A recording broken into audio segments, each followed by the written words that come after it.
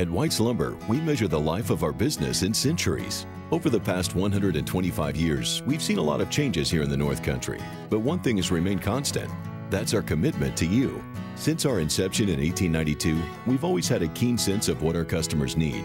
As we've expanded our product lines and multiplied our locations, we've done it all to provide unrivaled service and customer satisfaction. Since 1892, White's Lumber has been helping our community, our customers, and you build to be the best.